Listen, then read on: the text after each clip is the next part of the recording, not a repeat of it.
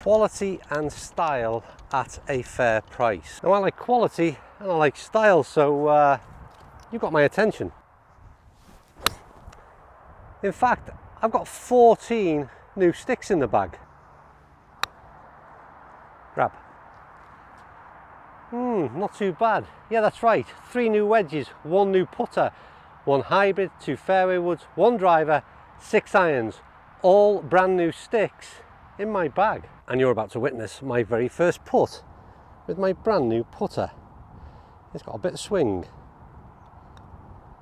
Turn, turn, turn. Nearly. And this whole setup cost just 899 pounds. So they had me with quality at a fair price. And I think 14 clubs, the ones I've just reeled off, at the price I've just mentioned, I think that's a fair price. Go in the hole, go in the hole. So the question must be, what about that quality statement?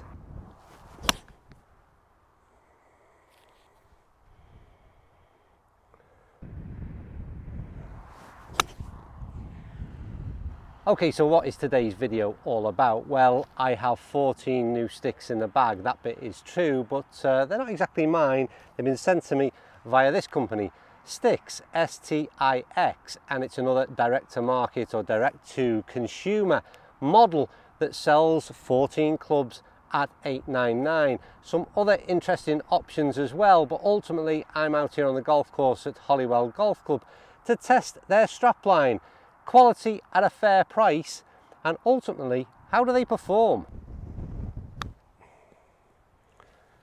Roll out, roll out. Well, I think ultimately we've got to talk about the way these things look because I don't care how much things cost. I don't care how good the quality is.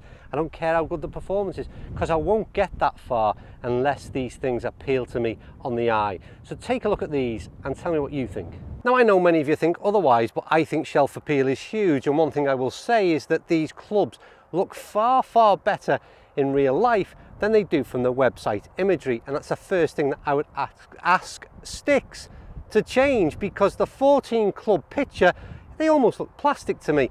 And what I've got to say, in reality, they look far, far different. Now, after quite excitedly opening this box of clubs from Stix because I really wanted to know what do you get for 8.99 in terms of 14 clubs. One of the first I unpackaged was in fact the putter. Go. Oh, and I've got to say, I was pleasantly surprised to say the least. We got off to a flying start. This has got a real super soft grip, which is quite unique to be honest with you. I really, really like it. And interestingly enough, as I opened every other club, that same style of grip is on each of those. Real, real positive. The next thing you'll notice are black shaft on every club that I play. They are all in fact graphite. Yes, 14 graphite shafts every single club. And whilst we're talking about the putter, really, really clean, love the way it sits in the dress, feels really good. And I've got to say, we got off to a flying start. Next out of the bag, well, it came the wedges. The brave shot with that camera there and a new swing. And then three wedges turned out to be super impressive on a number of different levels. First of all, the finish and how good they look. It was reminiscent of some of the black Vokey wedges, to be honest with you. And the shaping, the chamfering in and around of the sole really, really led to being very playable wedges. And the bit that surprised me greatly was just how good they felt. So we've got three wedges, plenty of versatility, feel is great, sound is really good. We've got a putter, which I really, really like. This was all of a sudden a flying start for 14 clubs at 899. Could this go wrong at some point? The question was, this all seemed to be going too well. And at some point, surely, there's got to be some negativity.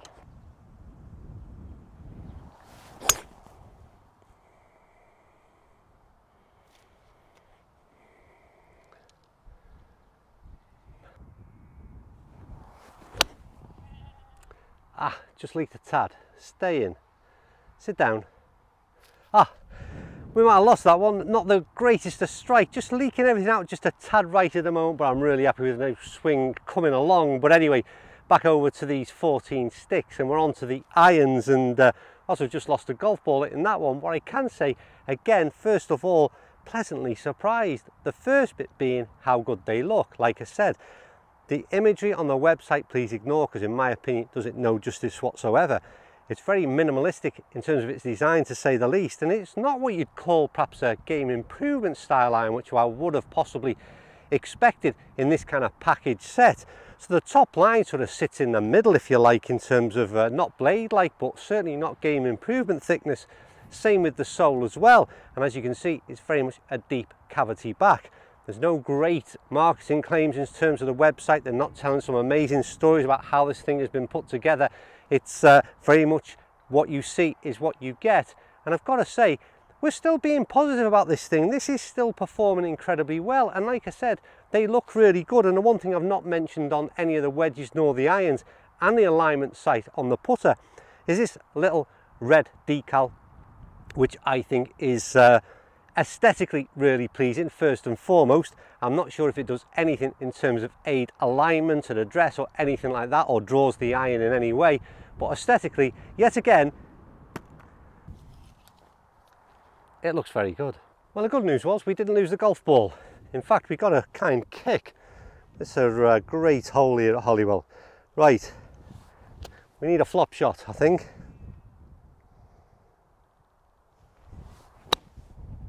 Oh, that could be good. That could be good. Again, I'm just going to say it one more time. Wedges, putter and the irons, the feel out of them, you know, is really, really good. And I'm quite surprised to say the least. I did tell you it could be good.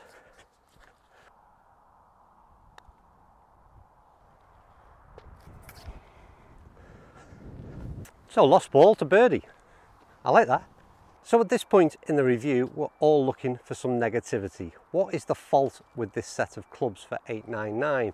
And there are faults and I will get to them. But what you're about to watch is me play four different clubs off of the same tee. Driver, three wood, five wood and the hybrid. I've got to say the driver was bullet straight, the three wood wasn't too bad, five wood had a bit of a pull in it and then maybe a tad push in the hybrid but what I can say is this, that they all came off of the club face extremely well and again I go back to that point about how good they sound and feel, really really good. So we've gone right from putter through to driver and from a performance perspective, an overall general performance perspective, I would say, it's fair to say I'm impressed.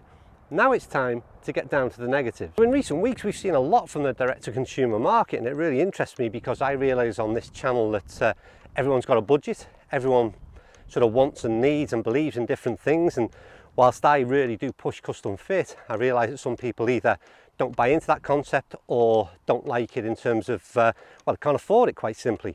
So for me to uh, showcase, showcase this kind of product, it's a real big deal for me. And uh, what I like about this particular model is that the fact that Stix offer you a sort of money back guarantee. So you can try these clubs and if you don't like them, as long as you meet their returns criteria, then uh, you can send them back. I really like that. Oh, it's a bit clunky, but it's going to get there. It's going to work. Do you know what? That's done all right. Anyway, what is the first negative? Well, the first negative is uh, the damn head covers. I hate them. Stix, you've got to sort them out because every time I take one off, I feel like chucking it in a bin. I cannot get the thing back onto the club head. And it's a bugbear of mine at the best of times. I don't know how they design them quite the way they do. I'm sure there's a little bit of a knack to it, but at the moment, I ain't finding that knack. So please change the head covers. But the second issue, and uh, well, perhaps the more worrying, I would think, that's got a chance, you know. Oh, it did have a chance as well. It's the bottom of the fairway woods, the driver, and I suppose even the putter in this mirrored finish that they've got. It looks really good when first out the packet, but if you have a look at the three wood and the five wood, I have managed to mark them up already, and that's just with one round played. The five wood has got a scratch on it that I took from uh, taking a ball off of the turf and the other has just a T mark which again I'm sure that'll probably polish off. My concern would be that after many rounds played with these they could end up in pretty poor condition and I think like I said there's got to be a balance between aesthetically pleasing which they are and durability. And I think that's something that they've got to take a little bit of a look at. And my final concern really is just going back to the irons and the actual profile of them because like I said, they're certainly not a game improvement style club in terms of the way it's been built, in terms of the mass. I think this kind of set is almost a bit of a kind of starter set, if you like, somewhere where you would uh, you've just taken up the game and arguably that might be a player that's of a higher handicap. Kind of profile is almost like I said, a sort of better players club. I've done all right with them. I'm a nine handicap golfer and I just wonder how they would fare in the hands in terms of forgiveness in a higher handicapper's hands. That's not easy to say. Um, and that's again debatable, they might be fine, but that's a concern that I raise when I look at the profile and what I associate with uh, the kind of club I was expecting against the one I've got. It's not personally an issue for me, but it could be for others. Nothing like an awkward lie to finish.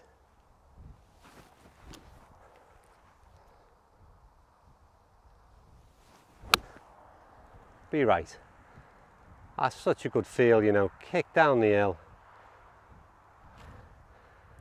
Oh, that's a real nice wedge to finish and uh, my kind of evaluation would be uh, quite simply, I've mentioned the negatives, but I've also mentioned the positives and quite arguably the positives far outweigh the negatives because uh, they're quite minor.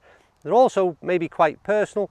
I like to say the likes of the scratches on the bottom of the wedges and the fairways, well that ain't going to affect performance and ultimately they've all performed really, really well. And like I said, exceeded expectation. The thing I like about this idea is that uh, 899 for 14 clubs for, and something that would po possibly cost around two grand from premium brands if you sort of count up the value of your own bag. It's literally half the price of what you can expect to pay. So it's a real good setup. It's a real good concept. I've got the bag they've sent me, which again is really, really high quality as well. And I also like the idea, finally, the fact that you don't have to buy the 14 club setup. You can buy the irons, you can buy the wedges, you can buy the putter, but obviously you're encouraged to buy the full set. And I assume that becomes a smaller price tag if you buy it all together. So I think we've given a fair enough uh, go here this, uh, this afternoon. And uh, I'd like to know your feedback. What is your thoughts from what you've seen visually of the product, from what I've done in terms of performance, what you think my negatives are and what you think my positives are? What are your conclusions? Is Stick something you'd be prepared to give a go at? So uh, comments down below. As ever, thanks for watching. And uh, as ever, at this point, I say that uh, it's late on, I've had enough and I'm ready for a pint.